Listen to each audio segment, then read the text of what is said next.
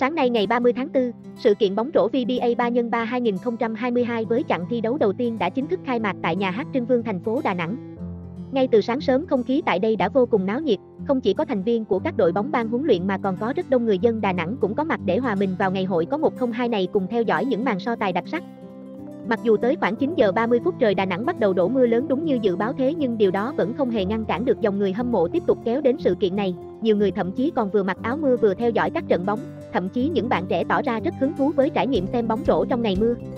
Với nhiều người dân Đà Nẵng, VBA 3x3 2022 thực sự là một ngày hội. Suốt hơn 2 năm kể từ khi Covid-19 hoành hành, người dân quá thèm cảm giác được trực tiếp theo dõi những trận đấu bóng rổ như thế này. Trước đó theo ông Phan Trần Mẫn, chuyên viên vận hành của ban tổ chức VBA thì phía ban tổ chức đã dự trù được tình hình thời tiết có mưa tại Đà Nẵng trong những ngày tới nên đã bố trí nhà bạc phủ đủ to để che chắn đảm bảo các trận đấu không bị ảnh hưởng. VBA 3x3 2022 có kế hoạch thi đấu hai chặng, chặng 1 diễn ra tại thành phố Đà Nẵng vào ngày 30 tháng 4 và 1 tháng 5, sau đó một tuần chặng 2 chung kết sẽ diễn ra tại thành phố Hồ Chí Minh